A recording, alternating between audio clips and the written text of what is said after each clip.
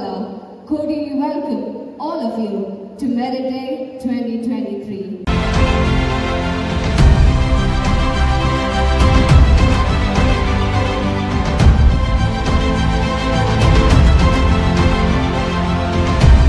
Parents, teachers and my dear students, it's indeed a proud and a very happy moment for me to stand before this august gathering of high achievers of Chavara Public School, Pala.